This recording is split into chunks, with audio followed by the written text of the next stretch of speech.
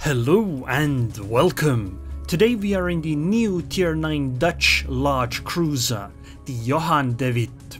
Today I streamed playing the ship on a press account on the Russian server and I decided to make two matches into a video, so there will be a second match later on.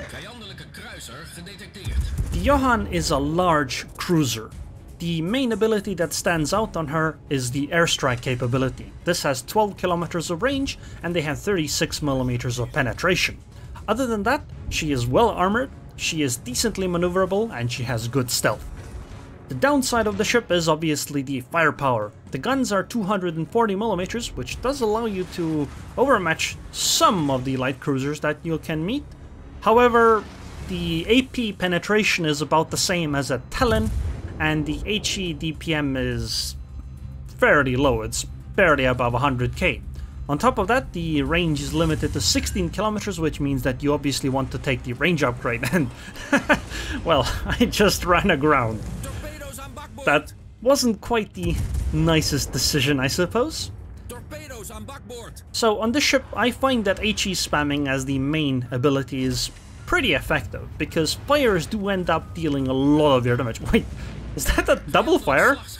And that's after the uh, Soyuz actually put out the earlier other fire, right? So let's try to maybe set a third one too on the very rear. Come on. we got one! Yes! That Soyuz has three fires that she can't put out going on her at the moment. And that's actually something I found the uh, Johan to be pretty good at. She seems to be very good at starting fires. She should have battlecruiser dispersion. I say should because I honestly don't feel like the dispersion is a problem, which is weird. On the Haarlem I definitely felt like it wasn't good enough, but for some reason on the Johan de Witt it seems alright, although the numbers, at least as I'm told, say that she still has battlecruiser dispersion. So I'm not really sure what's going on over there, but the guns basically... They don't... The AP doesn't feel very good. The HE straight up damage doesn't feel great. But the fires she sets... She, she sets a lot of them. I had several matches where I started more than 10 fires. Although I guess I didn't try playing only AP or mostly AP. I did favor HE quite a lot more than AP because, well, having Tallinn penetration is it's not the greatest, let's put it that way, but I suppose it might work. I mean, right now, I've had quite a lot of broadside. Also, running aground here was not bad at all, actually. This has been an extremely good spot. Seriously, look, I've been able to just shell enemies from here with barely nothing in return being done to me. Running aground here was actually... This, this is a great spot. I had no idea that this spot was here but it truly feels great. Something like a Des Moines being parked here would be even better, I suppose. Anyway, that Caracciolo is within 12 kilometers, so let's use our airstrike ability on her. And let's just stack them. Okay, wait, is she turning into the cap? Is she? No, no, she's turning the other way. Okay, let's try to lead properly. And yeah, let's just stack them. And now let's go meet the Caracciolo. Oh, oh, oh, that's looking really good. Oh, that's looking really good. Come on.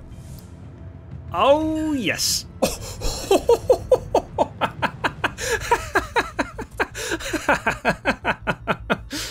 that's that's what 21 22k damage just like that goodbye to half your hp basically wow that that lined up perfectly so, as I mentioned, these have 36mm of penetration, which means that if your deck armor is lower than that, these uh, airstrikes with their parachute bombs can end up dealing incredible damage. So these send out 10 planes, which each should drop uh, 6 bombs. But obviously it's on a large area, so usually you don't get hit by, well, most of them easily. I find that they're most useful against lower tier battleships and actually cruisers. Well, cruisers that are really big. Really small cruisers are kind of difficult to hit.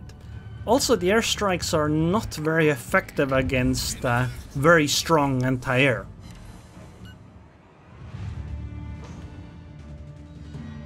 That Petra knocked out everything except one plane.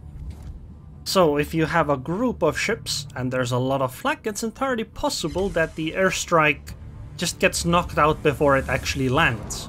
And then obviously there's the problem that some ships have decks that are too thick, which means that even when the bombs land, they don't deal all that much damage. But against cruisers, that tends to not be as big of a problem. Well, usually. She also has heals that cool down faster, a hydro and defensive fire. In fact, speaking of defensive fire, her anti-air is also incredible. Like, seriously, seriously good. Luchtafweerbemanningen in opperste staat van paraatheid. Goodbye!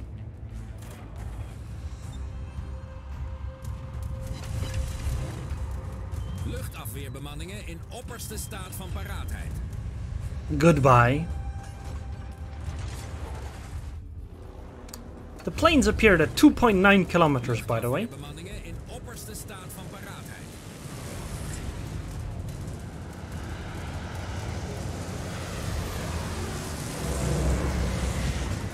In that last one, the Hakuryu still got her drop-off, but that's a tier 10 CV.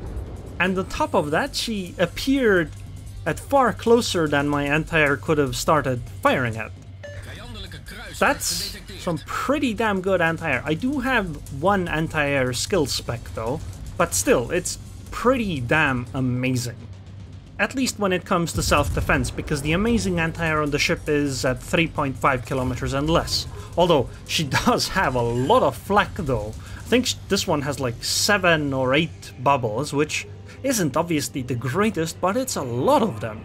And flak bubbles are pretty scary when the opponent has defensive fire, which this ship does. You don't even have to choose between hydro and defensive. In fact, I think other cruisers that right now can choose between defensive and hydro should get both at the same time. Don't give it to super cruisers because they seem to already be good enough, but regular cruisers. You know, ships like Hindenburg and Zhao. So, I really want to go to the other side, and I think our Alsace over here needs to just back off. She's being airstruck right now, but the reason I think she needs to back off is because the enemy has a Mecha. And, well, the destroyer is something difficult to deal with for a battleship. I could go support her, but I really just kind of want to go fight other ships more. Because those cruisers over there are probably just gonna keep running unless they're forced to get closer. And I think giving up ACAP uh, would be worth it. Just hold on to BNC, because, I mean, we don't have a destroyer here to fight the Mecha, so it would be extremely difficult to uh, win against them. Wait, what? The Gustav Julius Mecha is not actually going for the Alsace? I mean, I get it. They're, they're destroyers mostly made of gunboat stuff, but they still have torpedoes that have enough range to stealth torp. Why wouldn't you use those in this kind of a situation? But I suppose she can still pretty safely deal some more damage, but really she should be heading to the A-cap, I think. Ooh, a fire on the Johan! If we can get a permafire on her, they last for 60 seconds, that would be a lot of damage right there. Mecha's, uh... Wait, am I being... Oh! Oh, look away kids, look away! This is how new destroyers are made.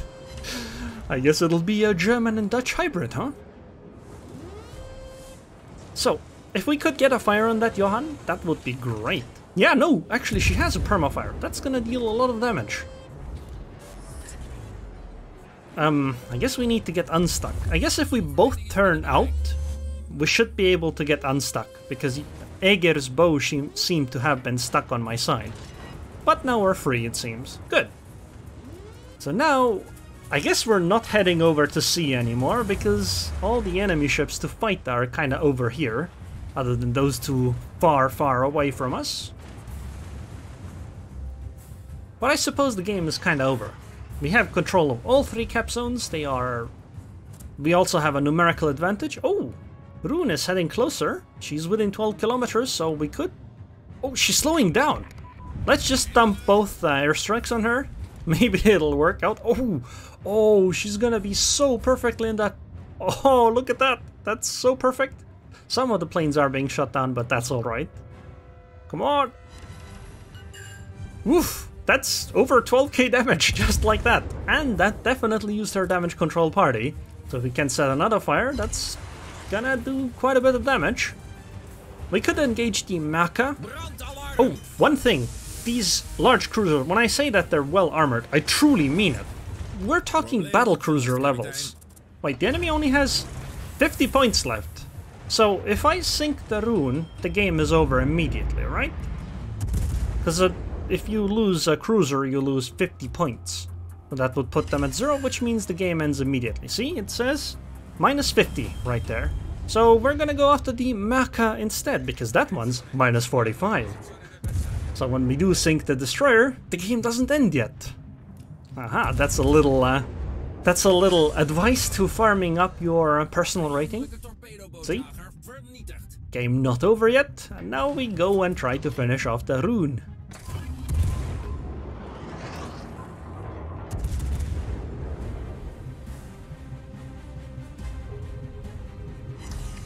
Yes, a fire. Excellent. Wait, she damaged. Never mind. She had DCP available already. But we're gonna get the nurse strike up in a few seconds. And she is within range. Last time it went pretty well. Come on. Come on. Okay, I think she might have stopped reversing, so only half of her ship will be in the strike, or maybe none of it. Depends on her acceleration. Oh, the game ended before the strike hit. Anyway, well. But we still had a great game.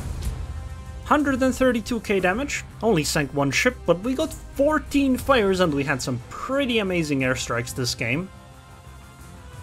34k damage with the airstrikes, 48k with fires, and 49k with the main guns. The fires did basically as much damage as the main batteries. Oh wow. Time for game 2. The first one had my airstrikes be extremely successful. This time we'll have a lot less luck with it. So, this is a match with a single destroyer, a Fletcher, and no aircraft carriers. So, I decide to go for the cap zone because I am a fairly stealthy cruiser. The only ships that could potentially threaten me are the Yugumo, obviously, because, well, she's a destroyer, the Brindisi, because she has a smokescreen and is able to then get out when necessary, and the enemy, Johan Witt, because obviously we share concealment, but everything else I should be able to outspot, so I should be fairly safe. I can head into the cap because I have the stealth, and even if I do get spotted somehow, I should have the tankiness to be able to at least get out and survive.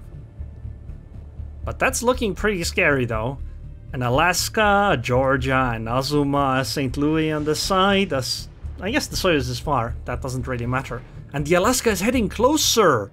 Okay, I'm gonna airstrike her, and I guess we're just turning and running, because I can't really fight the Alaska, I think. Okay, Alaska turned, so I guess airstrike doesn't really work.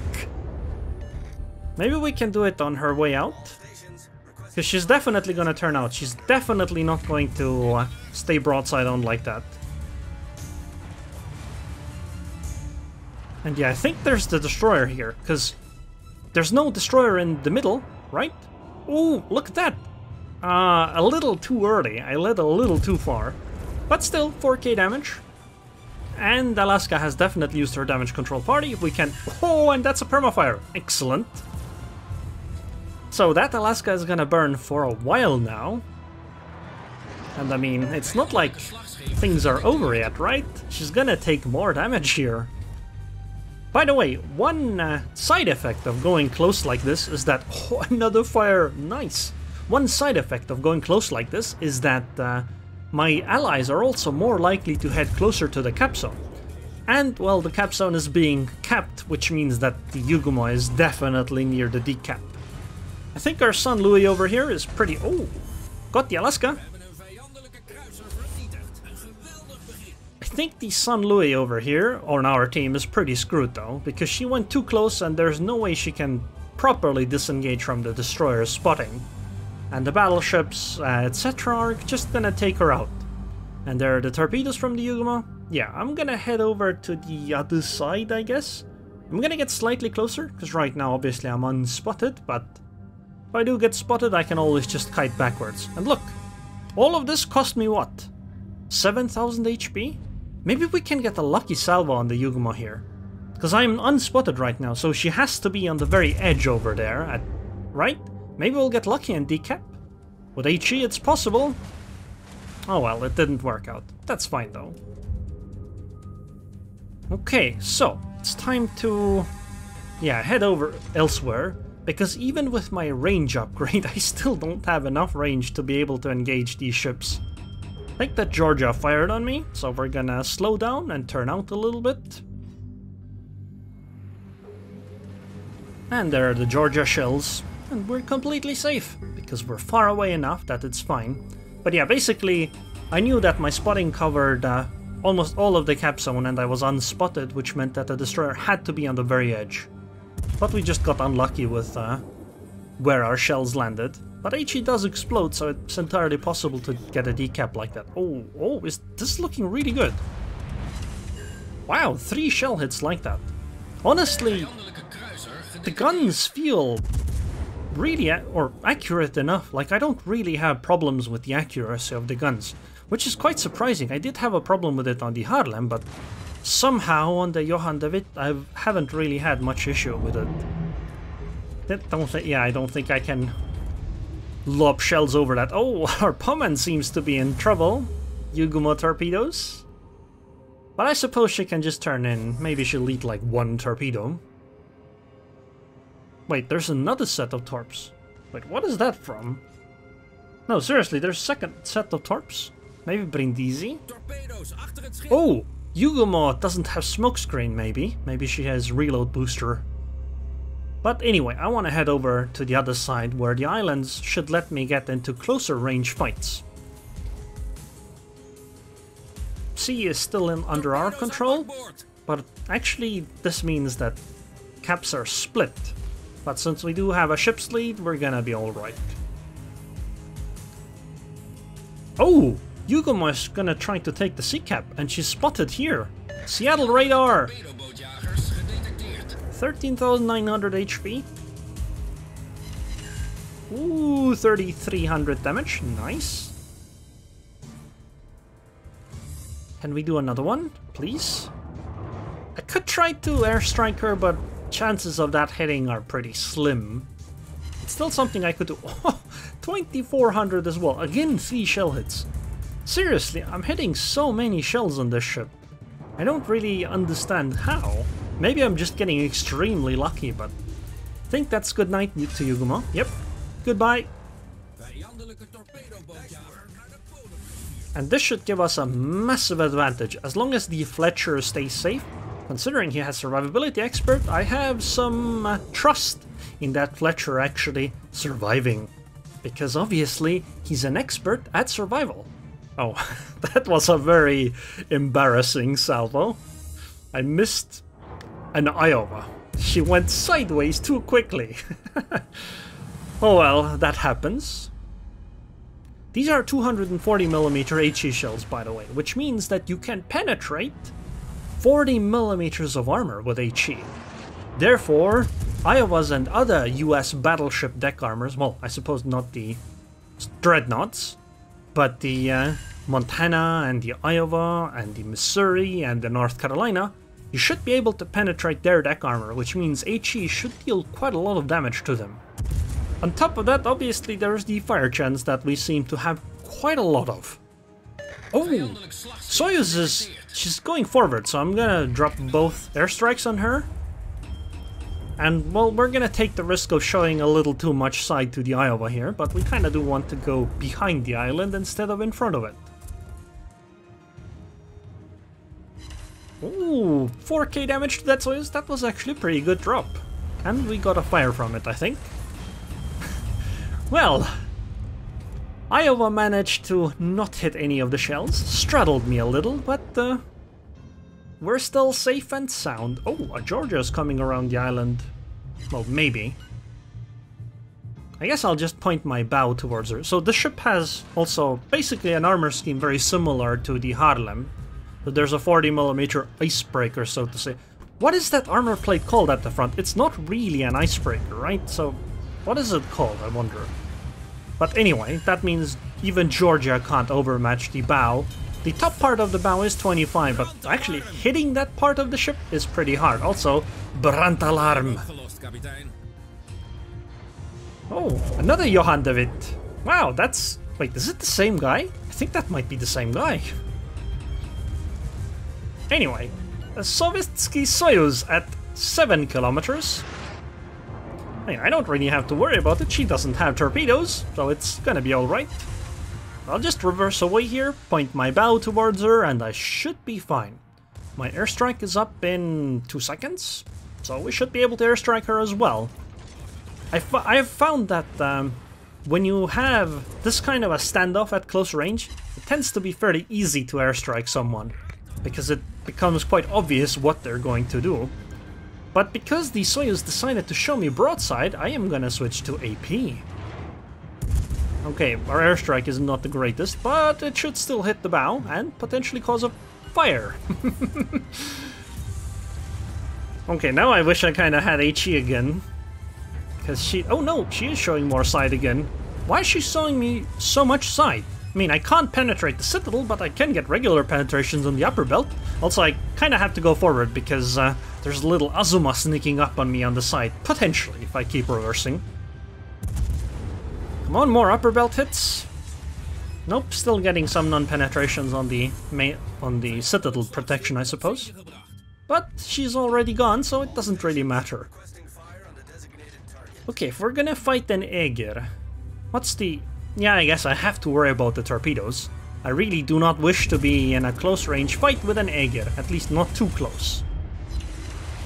Because she does have, I think there's 6 kilometer torps, right? So as long as I stay further than 5 kilometers from her, and I'm sailing away, it should be alright. She gonna show more side again? It's... I know I'm gonna take a lot of damage when doing a turn like this, but I think the armor is good enough to be able to survive that.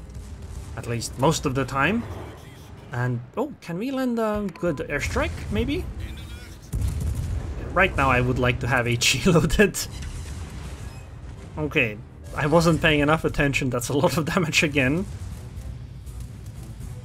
Oh! The enemy Johan is doing a strike on me. Let's try to shoot some planes down. Okay, I don't know where those planes went. Oh, I suppose they were striking someone else. But we did get a fire on Aegir, and Aegir is a large cruiser or super cruiser, which means that fire is gonna tick for a lot of damage. We have Actually, we have half the HP of the Aegir, but I'm... I like my chances considering how much support I have. And I do have a heal up in a moment. Besides, she won't actually get to torp me because I already made the really risky maneuver of turning away. That's a second fire. You know, I like that the secondaries are going off. At some point Wargaming buffed secondary range on cruisers and stuff, and I think that actually kind of made them useful, because these can still start fires and that's pretty nice to have. It also means that you really don't wish to stay within secondary range for extended periods of time, even though they aren't like very effective, they can still start those pesky fires. Come on! Ah. Five ricochets! yeah, I should have used HE, huh? And goodbye, Aegir. And now we're gonna fight the Johan de Witt. Oh! And airstrike's coming in. Maybe we can nab a few planes. Although it'll probably happen afterwards. After the strike, that is. Okay. I don't know how to aim on a target that's on the border like this, so I just aimed center mass. Should probably be close enough. Oh, come on, 200 HP, really? Oh well, so during my stream, I didn't really have any very impressive games, but I had some pretty fun ones where things went rather well, like this one. This was a pretty damn good game.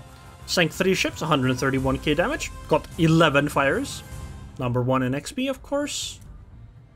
This time airstrikes only did 9000 damage. Secondaries actually did almost half the damage the airstrikes did, but look at that.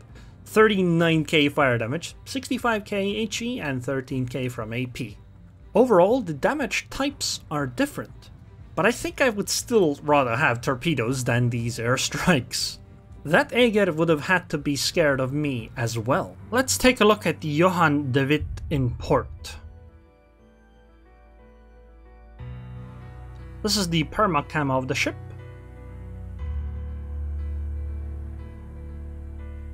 Also, this is the new Rotterdam port. Looks pretty cool.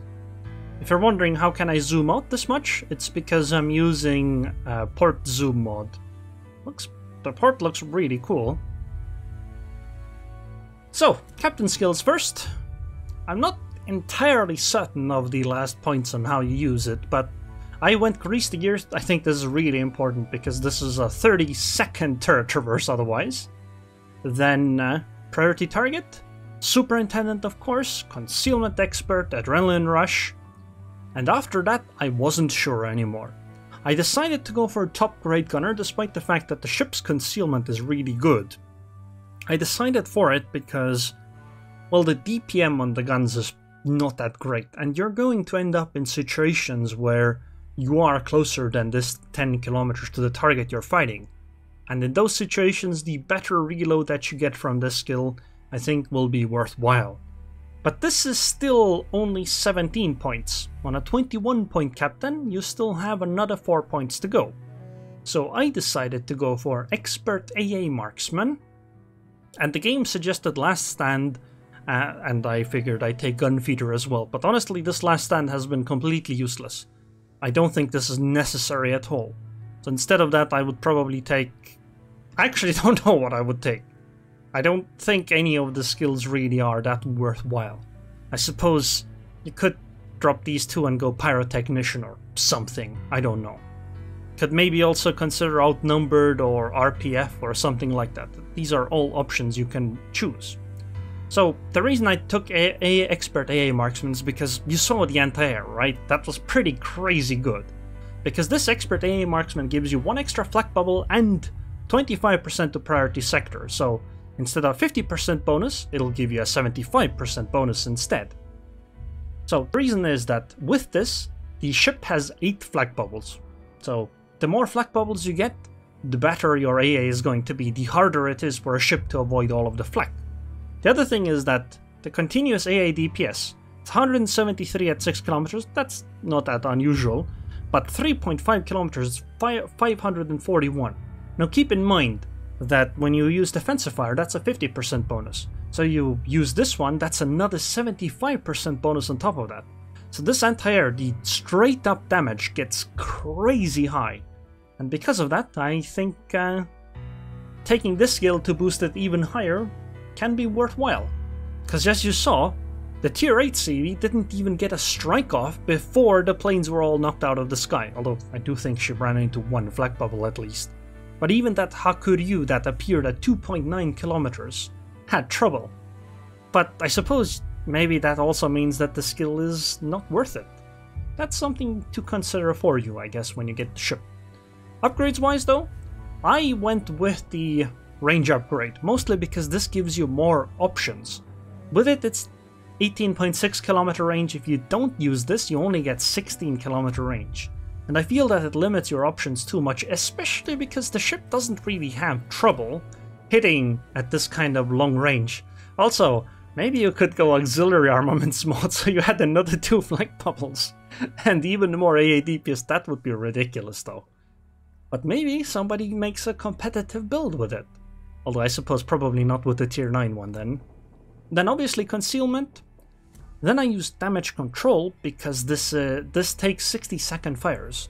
Otherwise I would probably like to have steering gears because it does have a 12 second rudder shift and improving that would be nice to have but you, propulsion would also be nice.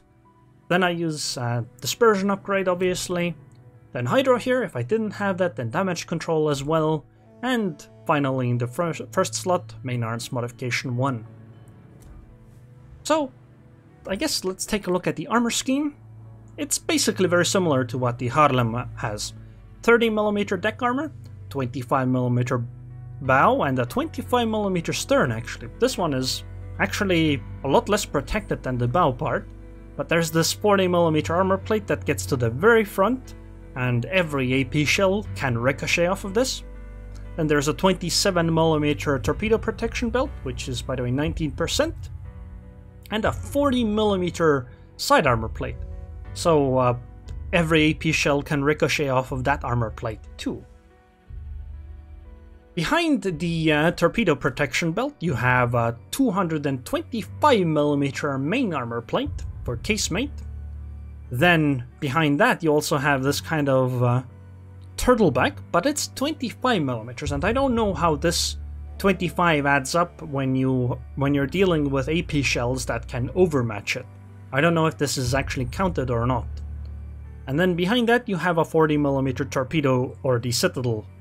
But even then the Citadel still sits only slightly above the waterline, so it's not the easiest to hit, you'd probably have to be at longer ranges. And all of these armor plates, they do add up, right? At least the 40mm and 225 belt, they are gonna definitely add up. And I mean, that's that is almost battleship levels of thickness. So if you angle this, it's pretty hard to get through. So anyways, I hope you guys enjoyed this video. I would like to thank the patrons on Patreon. Thank you very much for your continued support. And I hope I'll see you guys next time.